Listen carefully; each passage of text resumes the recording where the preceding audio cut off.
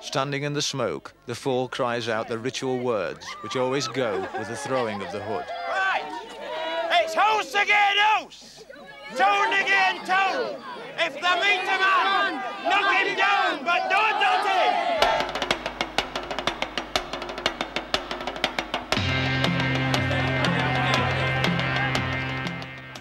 The house against house, town against town, the fool's rhyme, refer to Haxey, in the next village of Westwood Side, separated only by the field where the game begins.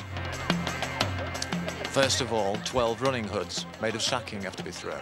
Get back, get back off her. Go on. Get back. This is the light-hearted stage of the game before the real rough stuff begins. Right. It's house again, house. Tone again, tone. If thou makes a man, knock him down, but don't touch him.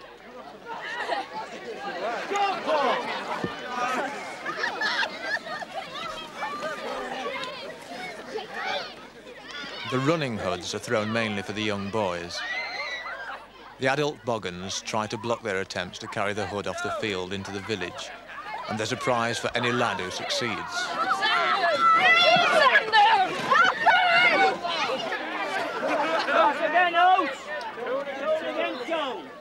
If thou meet a man, nothing him down. Wait a minute, don't touch him.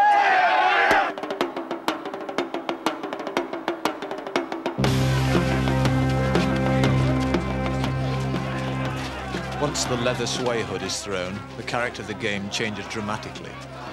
Within the sway are contingents of men from all the pubs in and around Haxey and Westwood Side, all bent on forcing the sway first into their home village and then into their particular pub, where the hood will remain as a trophy till next year. So many tons of muscle and bone are slow to move, and when night falls, there are usually several hours of mighty pushing and shoving still to go.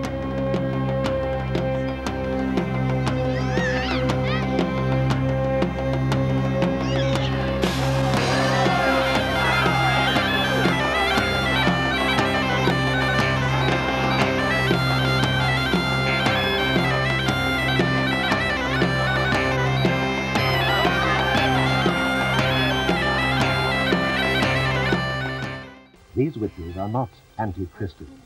Indeed, they were found to be extremely tolerant of other religions. Tolerance is not extended to them. Theirs is a fertility cult, and consequently much misunderstood. Male and female alternate in their rites, and the supreme aim is the fusion of the male and female deity, the making whole of the great life force. The highly secret rites you now see have never before been televised. We are naked in our rights as a sign of freedom and equality.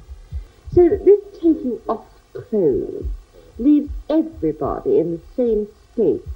I think it shows our democratic principles. This is the initiation ceremony, much of which we were not allowed to film. The initiate has now been accepted as a member of the coven. The coven, the symbol of being, of organization, and of growth. Eco, eco, erida. Eco, eco, everak. Eco, eco, zomalak. Eco, eco, danina. Eco, eco, erida. Eco, eco, everak. Eco, eco, zomalak. Eco, eco, danina. Eco, eco, erida. Have you ever heard of a straw wedding? Well, you're going to hear about one now. In Derrylin in the county Fermanagh. A, a straw wedding probably dates back to pre-Christian times, but certainly dates back as far as the Crusades. That when the bridal couple returned from their honeymoon, the local farmers and farmers' boys gathered together, dressed in straw, to welcome home the happy couple.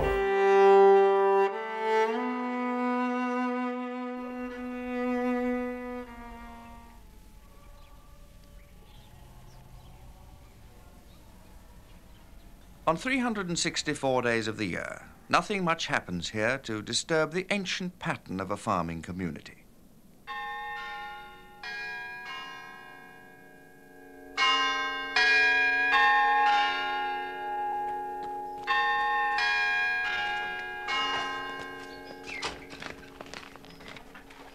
But on one day in January, the village church is the starting point of a strange procession with roots beyond Christianity itself in the days of pagan ritual and human sacrifice.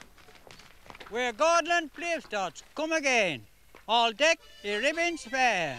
See now we'll do the best we can, and the best can do no more.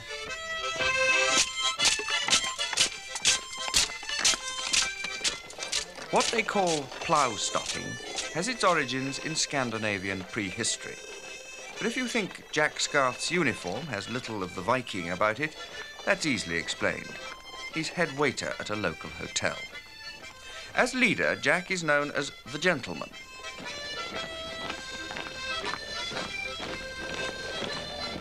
And behind him come the stots, the ancient name for the bullocks which pulled the plough.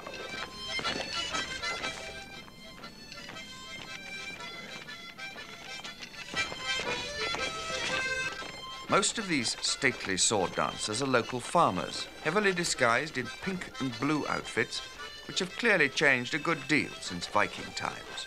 Once they would have cavorted round a human victim, without the accompaniment of Jeff Hugill on the harmonica. On the fringes, an ancient double act known as Isaac and Betty perform mysterious rites. The precise significance of it all is lost forever in the mists of antiquity. But the climax to each dance remains the grisly memory of a human life given to appease the gods and speed the plough.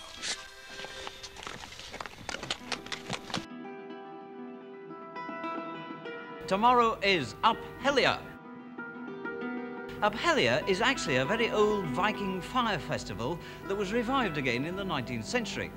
It happens every year on the last Tuesday in January up in Lerwick in the Shetland Islands.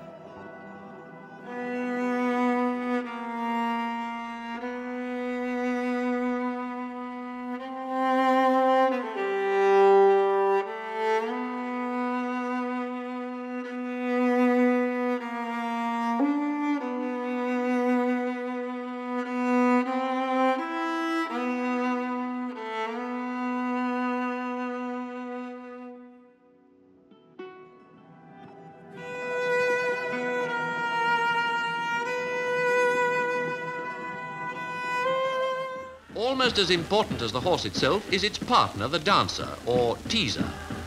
Some say that the origin of it all dates back to the 18th century, when French troops who had landed at Padstow were chased out of the town again by a group of women dressed up as horses. In fact, the custom is thought to be much older than that, probably being a survival of pre-Christian fertility rites practiced by the Celts. But whatever the origin, it's still today Padstow's biggest celebration of the year.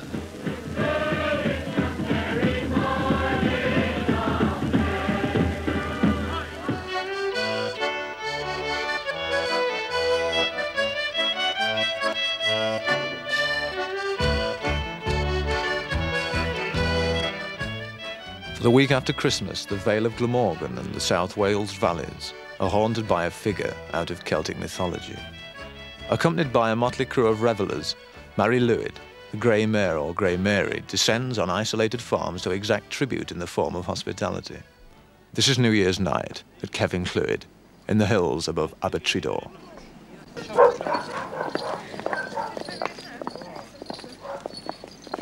In theory, a household can refuse entry to Mari Lwyd and turn her away. But the ostler, the sergeant, the Betsy, and the rest of her crew know all the tricks they need to get past locked doors.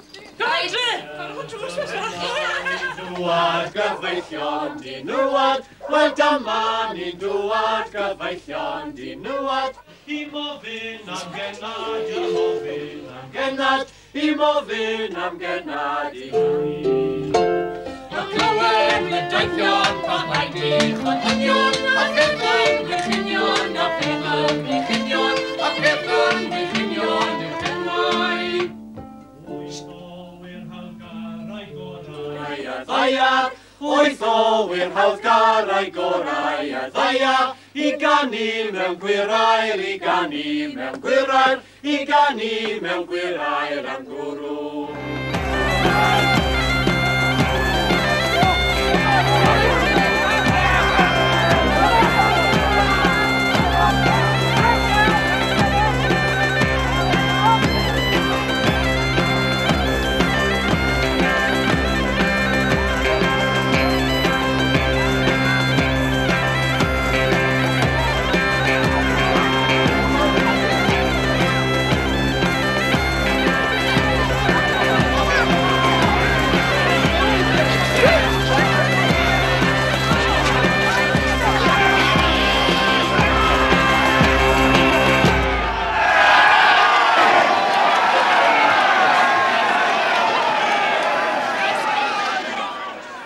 Has gone to the Duke William, and the victory, this time, to the men of Haxey over Westwood Side.